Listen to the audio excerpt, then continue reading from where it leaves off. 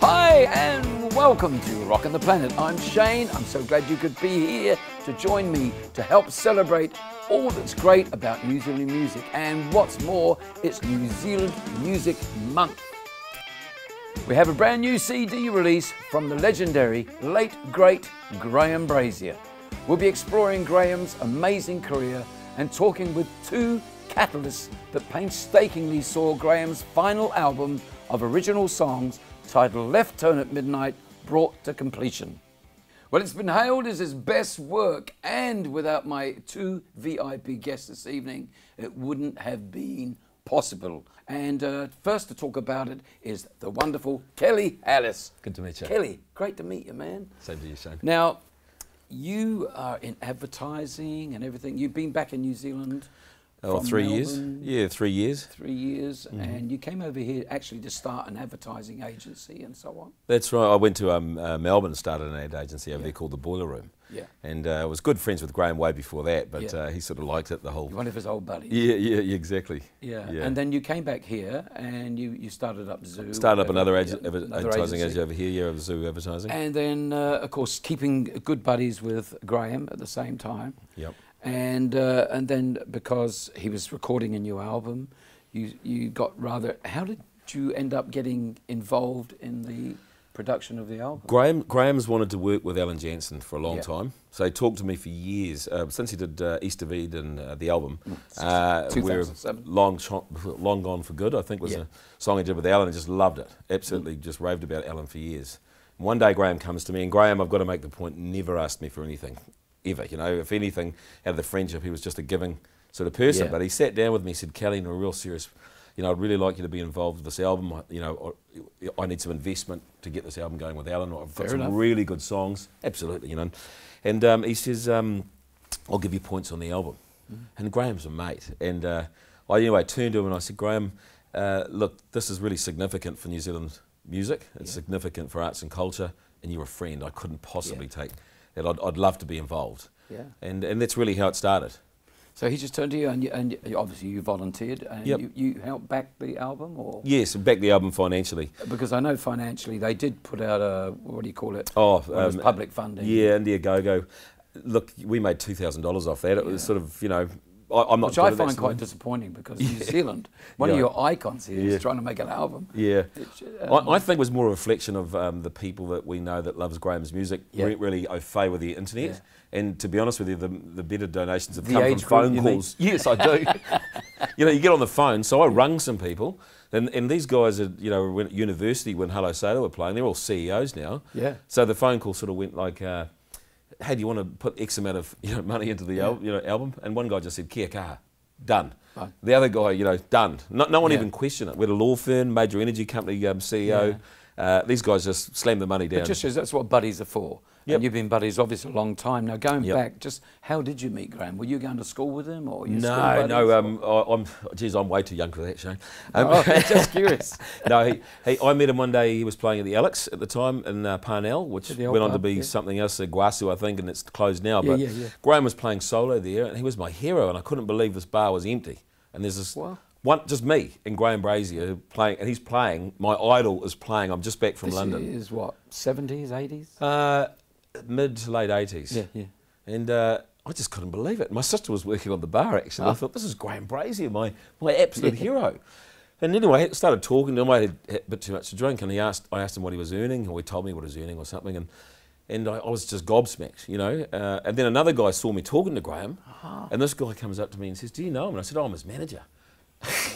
And then, Boom. then he A says, new bond. he says, I would like to hire him. So I said, well, he's X. And I doubled what he just, Graham just told me he got. And afterwards I said to Graham, hey, um, I just uh, got you a gig, you know, for double what you're earning here. And he said, I need a new manager.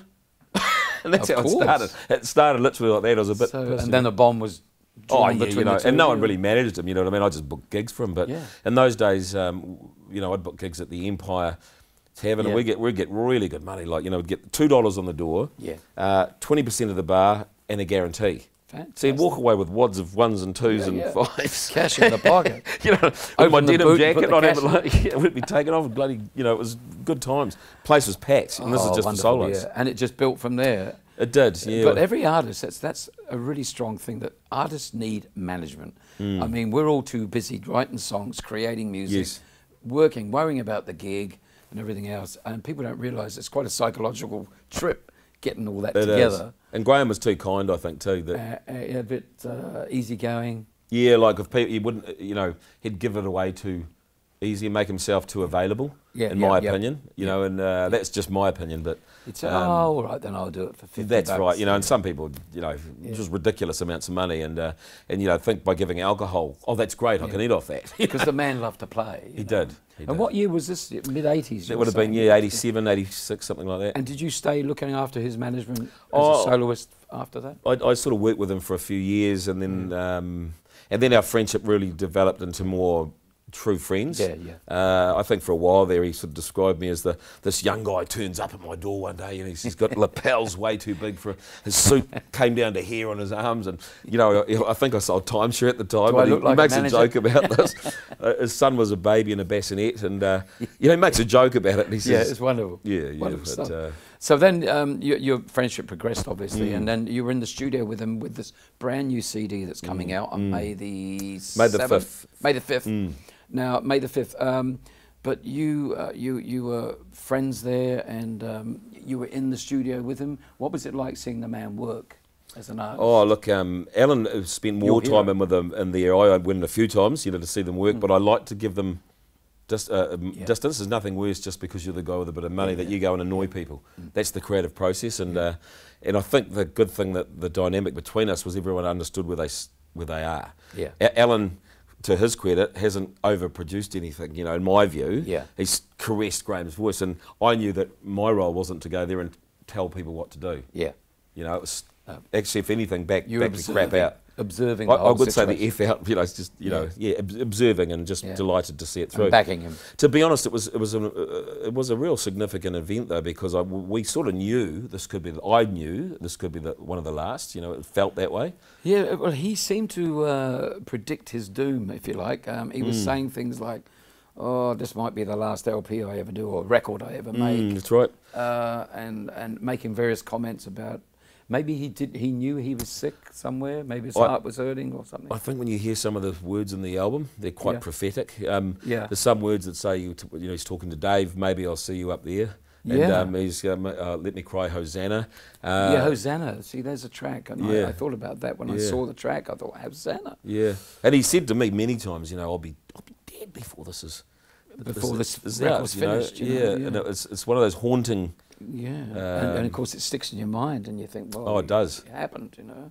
Yeah, absolutely does. And I remember seeing him Mm. at Dave's uh, funeral, and he sang at the funeral, and that was Mm. wonderful what he did. And and Kiwi, there's not a Kiwi in the land that doesn't love him. Uh, he's part of our heritage now, and Mm. he's left us with a great legacy here. This brand new CD. So we're going to go back in time now to a little song called "Gone for Good," which is uh, off an album that uh, Alan Jansen actually produced for him in 2007. Mm. I think the album was called "East of Eden." That's right. Uh, here it is. Here's Graham with one of his own great songs.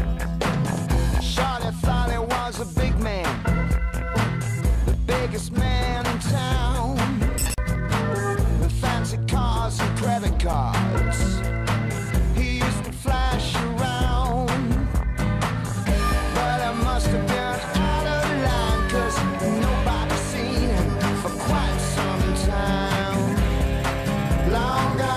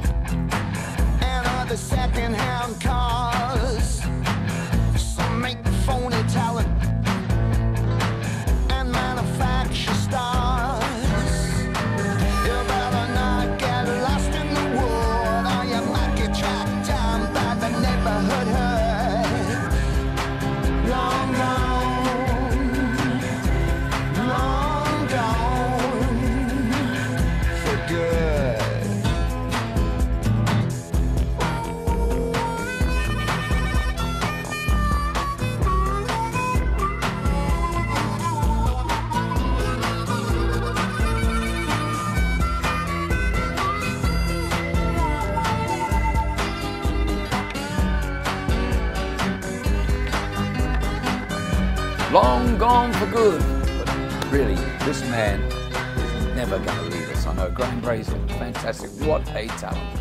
Now, um, I'm going to ask Kelly one more time. Um, a little bit news. How did it come about that Alan Jansen was chosen to produce his latest album, the album to be released? It's just something that Graham had wanted to do, I, I think, for at least uh, probably five years. In talking to me, he sort of went on and on and on about, I really want Yeah. to work with Alan. And I think um, for Graham, being in a studio was like oxygen. He, he- It you know, if he wasn't on stage or if he wasn't Yeah. writing new stuff, and this was his, this was an album he wanted to do, and he wanted to do it with Alan.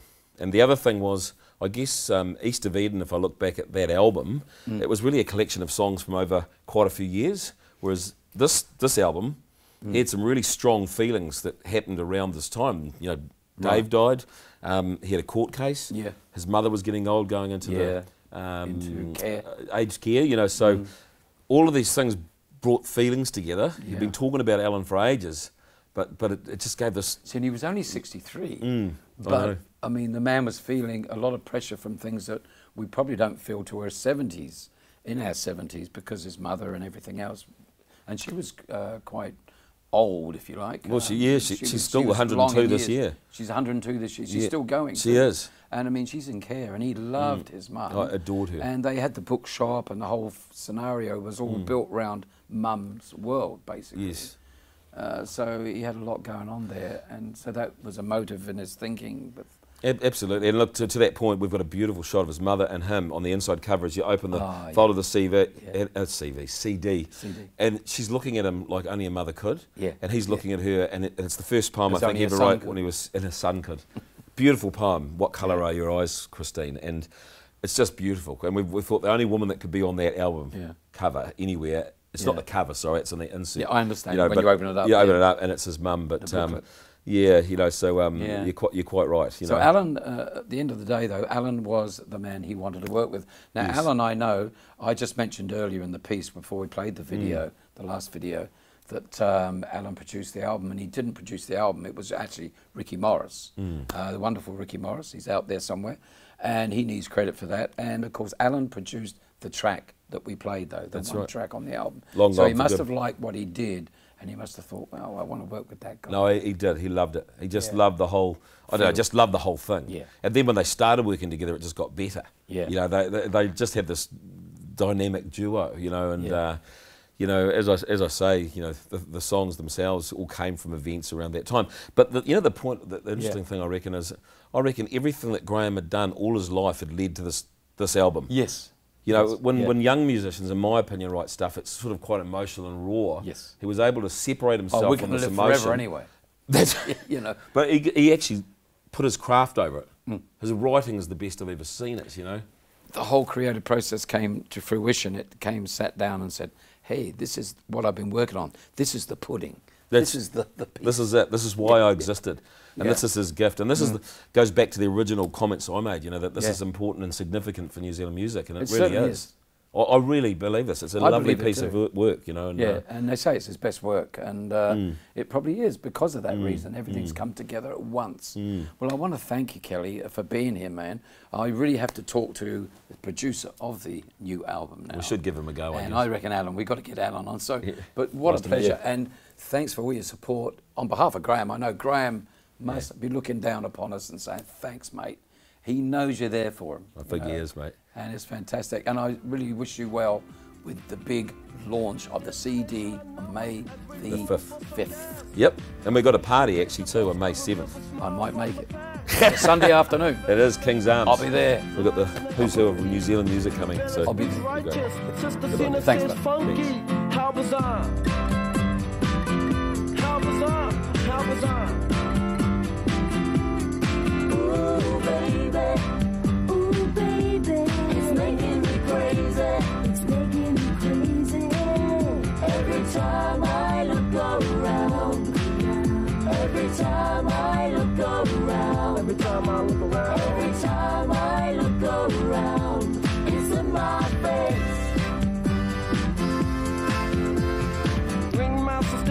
Alan the it's wonderful to have you here. You're looking so comfortable. Should have been here all day.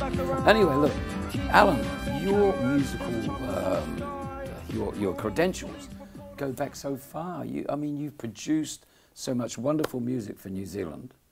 Uh, a musician in your own right. Um, of sorts. oh, look, I remember you in Wellington way back when you were in a group called the Steroids, a punk band in the 70s, right? Yeah, yeah, that goes Yeah. back. Back. And you're a modest man, I know that. Now, uh, but you've, uh, t- I'll just go over some of the great music so people can equate where you've come from.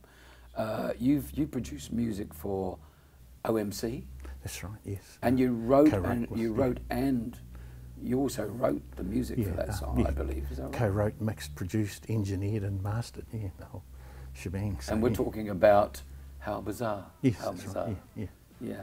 Yeah. Now that was an amazing song, and uh, that must have taken you by storm and, and sh- shock horror. Yeah, oh, we sort of knew we were onto something. It was that magical thing, and I was actually used to tell Paulie how much I thought we were going to make out of it, and I wasn't far out actually when we were sort of going for long drives and talking about it all. That's a lovely thing, isn't it? When you know that you're onto Yes. a hit. Um, I've had the experience myself, and you're in Oh. a studio and you know that something is happening. There is a, a connection, there's um, a chemistry happening. Hmm. And you had that with, uh, How bizarre! with How Bizarre Hmm. and uh, OMC. Yes, that's right. Uh, yeah. But you, in, in your wildest dreams, you would never have thought that it was going to be so successful. Um, I, I know I'm not trying to sort of blow my own trumpet, but I just knew we had something special because I always thought that if I liked the song, then other people hopefully would like it as well. So Well, we heard stories earlier. We were talking in the green room, and uh, Gerard Smith, who is a producer here as well, a TV producer, and he was chatting about he was on the Harbour Bridge when he first heard it, and thought, "Geez, those Americans and those Mexicans know how to make records," you know. and I remember my first experience with that song, and it was, um, God, uh, I thought it was the Kinks. I thought the Keys, the Kinks that's have finally come back with a good one, you know. oh well, that's a real compliment. So uh, it, it really had hit hit all over it, didn't it? yeah, yeah, it I had that. Yeah, I You're s- probably tired of talking about it. Oh no, no, I I still drink out on it. Good on you. Cheers. Dine out on it. Good on- But anyway, after that, uh, you moved on and, and you've done so much in your career and you produced. did the um, first of all did the Proud album, which got me started in the music industry, and I didn't really want to be a producer, but there was just no one else doing it, and I Yeah. thought somebody had to guide these people through the studio thing because there's no point in them just coming in and using up the time and not going out with something. I always had the idea, walk in with an idea and walk out with a master. I thought that was very important. Like that. Walk in with an idea, walk out with a master. That's the one. Yeah, Are you still working on that Oh yeah, theory? yeah, yeah, I, I, yeah. I love that, and try and help them through it and get it all together. I um, went into a bookshop in Dominion Road, and there was Graham. He was a poet first and foremost, and then he was a working musician next. And he never considered himself a rock star or anything like that. So when he came to you to do this album, did he just say, look, I'm doing this new album, here's the songs, or did you sort of have a discussion first about how you're going to approach this thing, what sort of sound you want? Or He'd, he'd written a song and he brought it to me and he wanted to record it because uh, he thought he would forget it otherwise. And uh, a girlfriend of his had put it on a phone, but that was the only recording they had of it. So um, I said, yeah, yeah, drop in. And I was waiting and waiting. And uh, I um, saw this car parked down there and I thought, wonder if that's him. And I went down and um, it was Graham. He'd been in there for about half an hour. And Oh, he sort of looked at me through the window. Oh. And I said, Are you coming up? Or, Oh, yeah, yeah, sorry, Alan. And he sort of staggered up and he left her in the car. And she sort of staggered up later on and she said, Oh, Graham, I'm really glad that you're recording this. But uh, put it down and I just said, Wow, that's a fantastic song, Graham. That's blowing me away. So I went and talked to Graham. said, Look, do you want to come in? We'll get together on Thursday nights. And that's the only night I got off. And I don't want to sit at home watching TV. As soon as the kids have gone to bed, I'm going to come by, pick you up, and we'll shoot down the studio. So he was right into that. Excuse me. And uh, every every um, Wednesday he'd ring me up, and because the studio's got a sort of circular round bit to it, he used to call it church.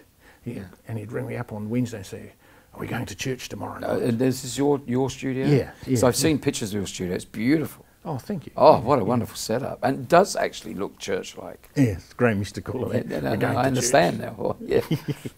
And so I'd pick him up, and off we went to church, as Graham would say, and uh, we'd put down song after song, just demoed them. And uh, I quickly learnt that Graham, without his guitar, is a little bit naked. You know, he sort Yeah. of really likes to have the guitar there, and he bounces off that.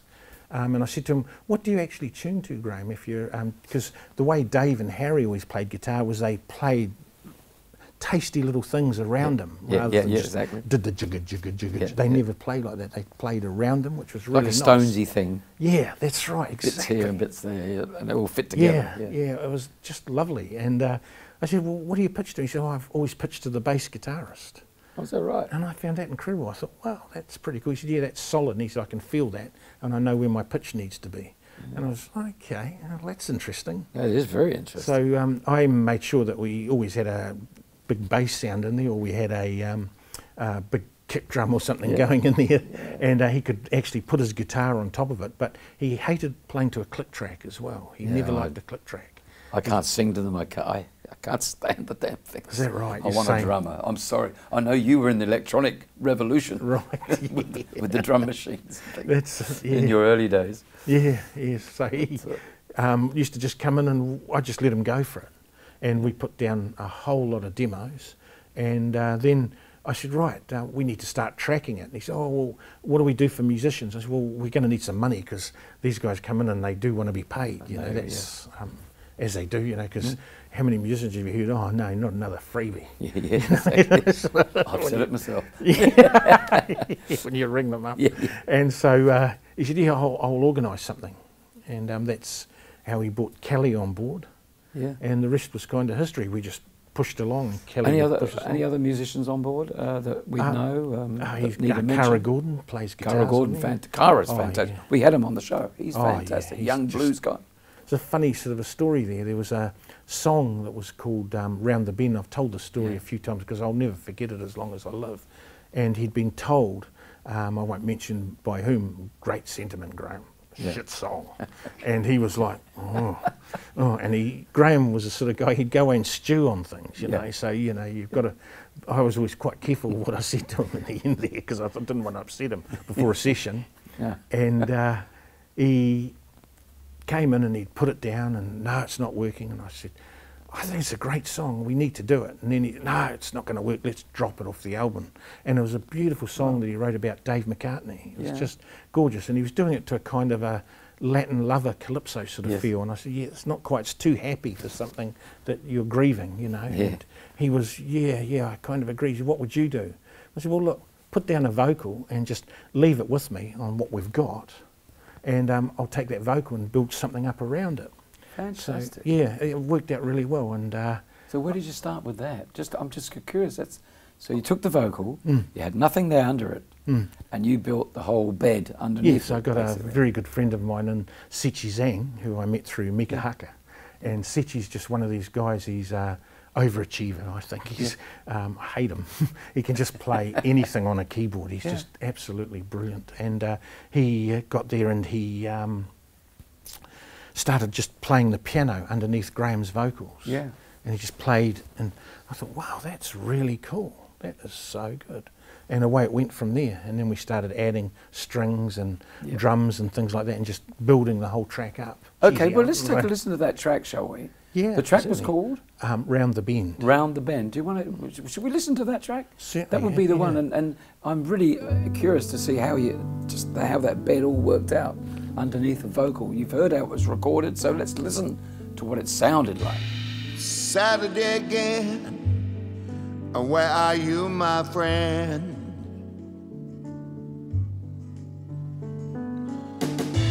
Come walking through my door about this time each weekend. Hey, those cavalier days thought they'd never end. Tell me what's round the bend. What's waiting around the bend? Said we'll play together until the day we die.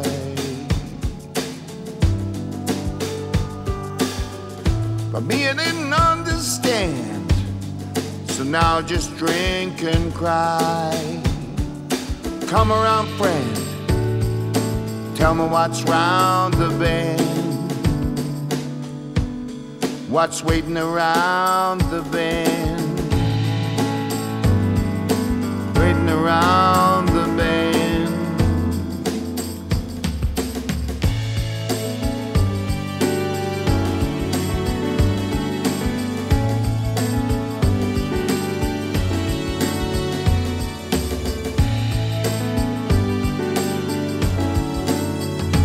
maybe we could meet up in my dreams.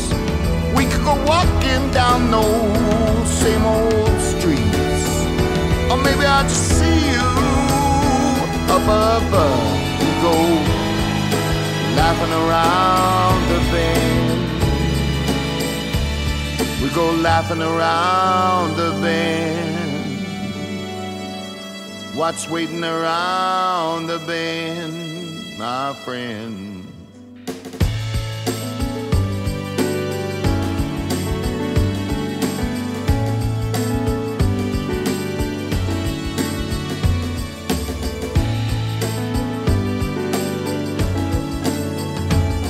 What's waiting around the bend? What's waiting around the bend? Around the bend, laughing around the bend, around the bend. Great song, Round the Bend, and you just heard about how it was really built up and discovered. So it's wonderful hearing these stories. I know we need another two hours to go over and over all the tracks. I just love talking to you.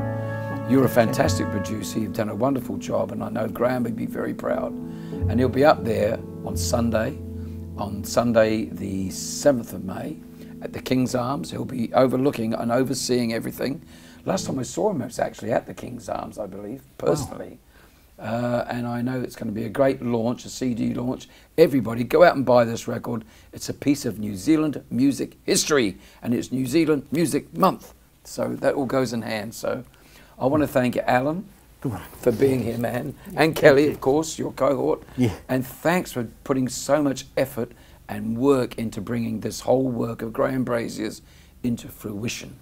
Oh, you know, I know it's been was. a, a, a work of a labour of love, is the Mm. word, isn't it? Well, I feel my life was leading up to this. So Yeah. I'm really honoured to Well, have done I'm this. absolutely so excited about the album, and uh, I know many fans of Graham's out there will be listening for it and buying it. So, uh, thanks once again. Thank you, Shane. Wow! Don't forget, join the guys at the King's Arms on the 7th of May, Sunday afternoon, 3 p.m., to help celebrate Graham Brazier's latest CD. Going to be a great show, so I'll see you next week, same time, same place. Until then, keep on rocking!